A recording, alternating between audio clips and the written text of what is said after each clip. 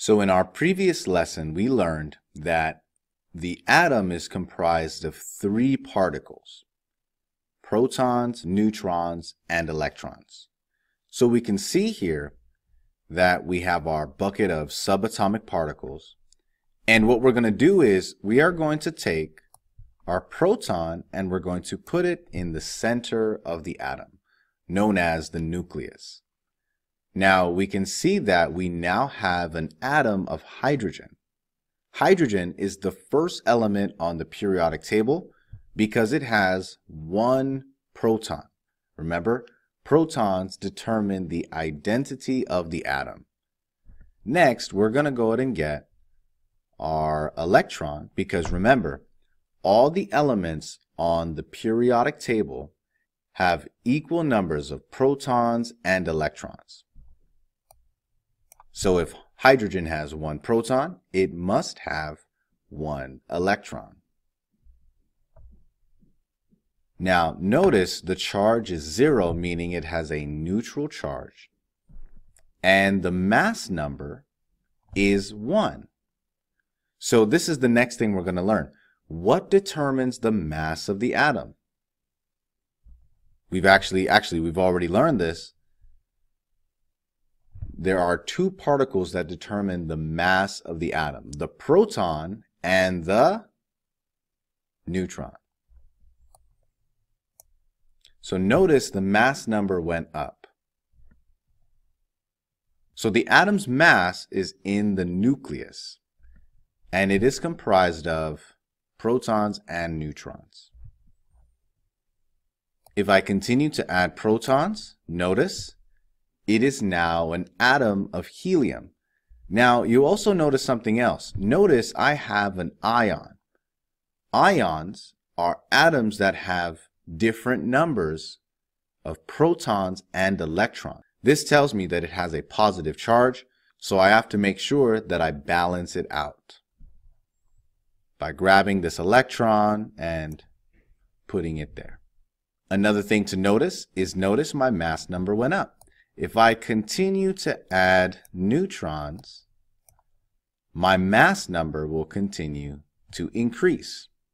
But notice the identity. The identity of the atom stays the same because protons change the identity. We also learned that there are these things called isotopes. Isotopes are atoms that have the same number of protons, but they have different number of neutrons. So for instance, this is hydrogen. This is a isotope of hydrogen. This is another isotope of hydrogen. Notice the difference. It has a different number of neutrons.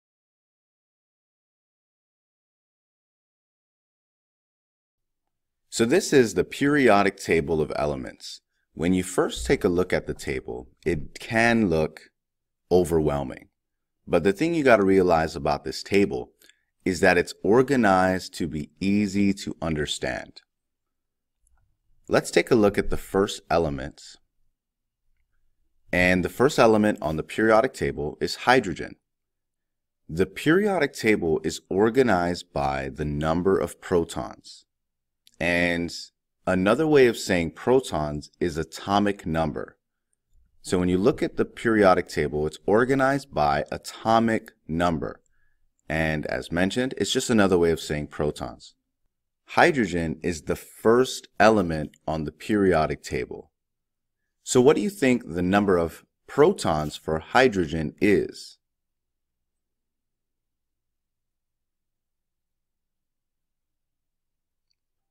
There is actually one proton.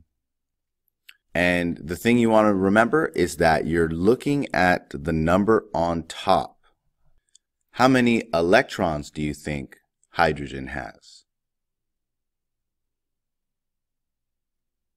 It is also one. Okay, so let's try helium. Helium has an atomic number of two. So how much protons and electrons does helium have? It is 2. Let's try another example. Let's try beryllium. How many protons? Four. How many electrons? Four. So that's what you got to remember. So periodic table, the periodic table is organized by the number of protons. Protons is known as the atomic number. And the periodic table goes from left to right. So we go hydrogen, helium, lithium, beryllium, boron, carbon, etc., etc. The next facet of the periodic table is that the rows, the horizontal rows, these are known as periods. So these are your periods on the periodic table. So we can see that there are seven periods on the periodic table. And the, the columns, the vertical columns, these are known as groups. The next thing we're going to talk about is how do you find the neutrons? So we talked about how you find protons and electrons, but we haven't talked about how do you find the neutrons that the element has. The way we do that is we take a look at the information that is presented and underneath the name of the element we have this decimal number here. So 6.94. This number represents the mass of the element. We learned previously that the mass of the element has to do with protons and neutrons. So what we have to do is we take a look and we see 6.9 and we have to round it. Okay. So 6.9, is that closer to 7 or is that closer to 6? It is closer to 7. So it's 0.1 away. So it's really close, right? So 6.9. The other number, let's just ignore that for now. And we're just going to look at the first decimal place. So 6.9 is closer to 7 than it is to 6. So the atomic mass for lithium is going to be 7. So if there are three protons already, how do you find the number of neutrons? So all you have to do is subtract. So you're going to get the atomic mass, 7, and we are going to subtract 3. So 7 minus 3 is going to be 4. So there are 4 neutrons in lithium. All right, so let's take a look. Let's take a look at that example of lithium. So let's first build lithium. So we're going to take our protons. How many protons does lithium have? lithium is the third element on the periodic table. So it's going to have three protons. Then let's take a look at the number of electrons. Remember, protons are equal to the number of electrons.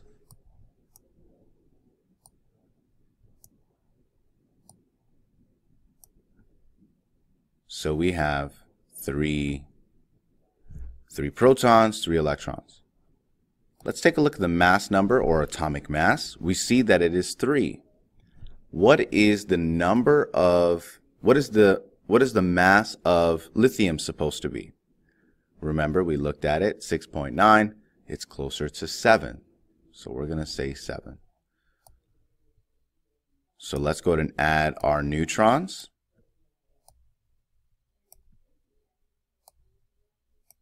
7. Now all we have to do is take a look at how much did we add, right? How much neutrons did we add?